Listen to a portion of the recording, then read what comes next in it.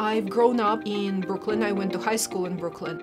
My entire life plan was to really serve the community that helped raise me, and it gives me great pleasure to represent Mount Sinai Brooklyn to that community, my community.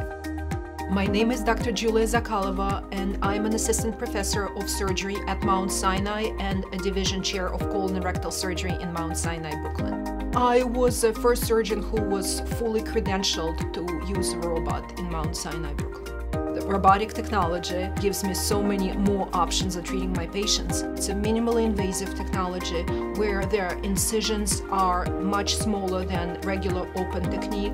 In that way, it's similar to laparoscopic surgery that's been around for many years.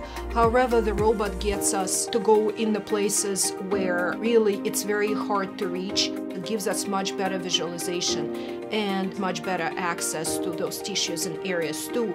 I like to be on the cutting edge of new technological developments, surgical developments, and the robot is the next step. I use a robot for major abdominal surgeries, for operations of inflammatory bowel disease and colon and rectal cancer. So from the patient standpoint, it results in better outcomes because it takes us shorter time to do what we need to do and gives us really better access to what we need get access to. I enjoy my interactions with my patients. I like their life stories. I like to hear what they're doing, what their hobbies are. So that's what I get out of going to the office every day. So when I can treat them and fix them, that's essentially giving their quality of life back.